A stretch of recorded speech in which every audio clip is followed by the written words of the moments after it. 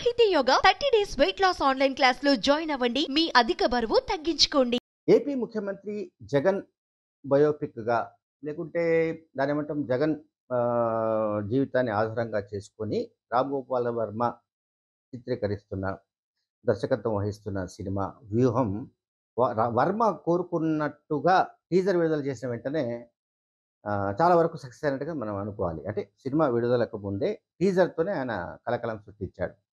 ఆ టీజర్లో పెద్ద గొప్ప విషయాలు ఏమీ లేవు. ఒకటి హెలికాప్టర్లో రాజశేఖర రెడ్డి ప్రయాణిస్తున్న సన్నివేశం నుంచి మొదలుకుంటే సరే జగన్ పైన కేసులు లేకుంటే ఆయన కాంగ్రెస్ పార్టీని ధిక్కరించడం కాంగ్రెస్ పార్టీ కక్ష కట్టి కేసులు పెట్టడం ఆ తర్వాత ఆయన అరెస్ట్ కావడం ఆ, భారతి రోడ్డుపైకి వచ్చి ఏడ్చినట్టుగా కొన్ని దృశ్యాలు చంద్రబాబు నాయుడులో కనిపించి కనిపించని ఆనందంగా ఉన్నట్టుగా ఆయనను ఆ ఆ ధరించి చూపెట్టడం అట్లాగే ముఖ్యమంత్రిగా రోషయ్య రోల్ ఒకటి మనకు కనిపిస్తుంటుంది ఆ టీజర్లో. సరే టీజర్ సంగతి ఎట్లా ఉన్నా కూడా ఇప్పుడు ఆంధ్రప్రదేశ్లోని కాంగ్రెస్ పార్టీ అలర్ట్ అయింది ఈ సినిమా గురించి. Ram Gopal వర్మను mental Ram Gopal Varma mental balance తప్పాడంటూ AP Congress అధ్యక్షుడు గిడుగు రుద్రరాజు ఆరోపించాడు.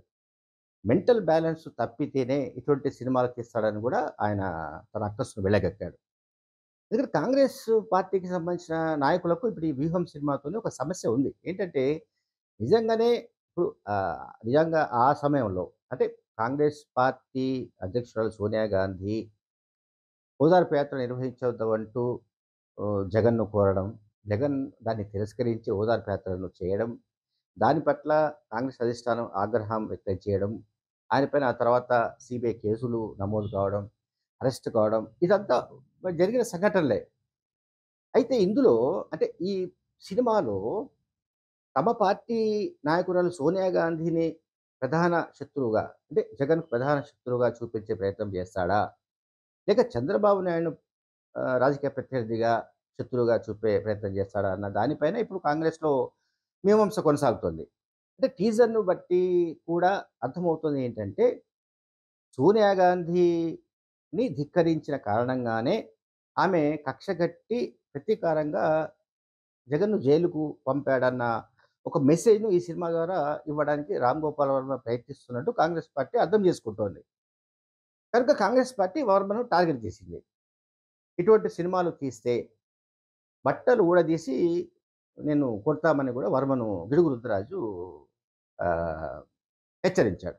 ఎందుకంటే ఈ సినిమాలో వాళ్ళకున్న అనుమానం ఏంటంటే కాంగ్రెస్ నాయకులకు ఈ సినిమాలో సోనియా గాంధీని విలన్గా చూపే అవకాశం ఉంటుంది.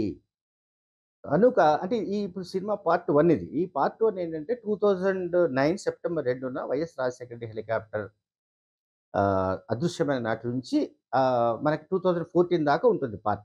సరే సెకండ్ పార్ట్లో టూ థౌజండ్ ఫోర్టీన్ నుంచి అంటే ఆయన ప్రతిపక్ష పాత్ర మహాప్రస్థానం పాదయాత్ర ఆ తర్వాత అధికారంలోకి రావడం ఇదంతా బహుశా చూపిస్తుండొచ్చు. సో ఇప్పుడు ఫస్ట్ పార్ట్కు సంబంధించిన టీజర్ మీదనే కాంగ్రెస్ పార్టీ అటాక్ చేయడం ప్రారంభించింది.